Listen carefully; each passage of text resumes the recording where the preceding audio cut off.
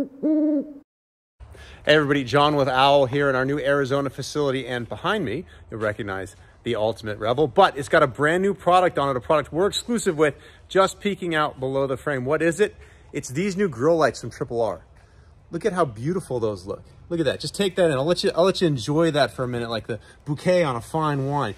That's because these lights are something that I think look so good on a Sprinter and they look very factory. They look like they came from Mercedes. And that's one of the things that I want to do with this van. We started off with this whole industry and it went it blew up so fast and went really over the top and I feel like 2023 is going to be the year where more products come out that are a little bit more subtle maybe a little bit um, cleaner they they match the lines of the van a little better they look more factory that's what I really liked about these lights if you don't know about Triple R so we have Baja. We sell a lot of Bajas. We love our Baja lights.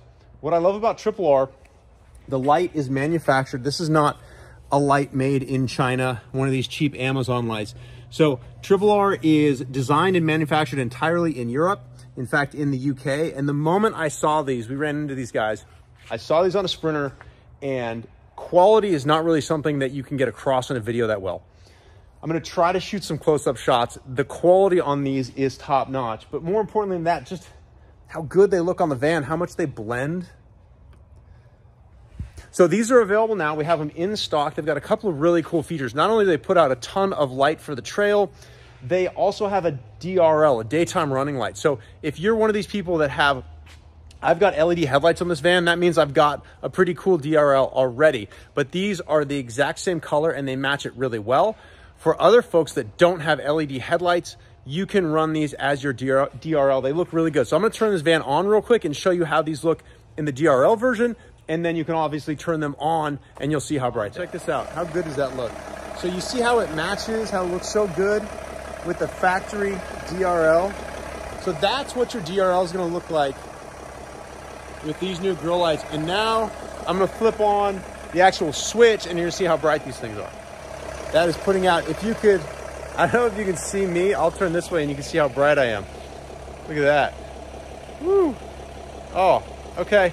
Can you tell if that's bright or not? Because if you can see my face, this is not a comfort face. This is a face with some lights that kick ass on the trail. Okay, that's all I'm gonna do. Anyway, these Triple R lights available now, super in, uh, super easy install.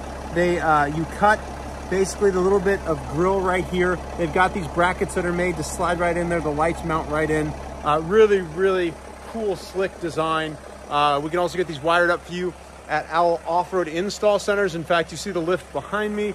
We are doing installs at our new HQ here in Phoenix. And then, of course, we also still have uh, NorCal, SoCal, and Colorado. So you can reach out to them and uh, you can order these on our website now. Any questions, call customer service and we'll get you taken care of. Thanks so much. Mm-hmm.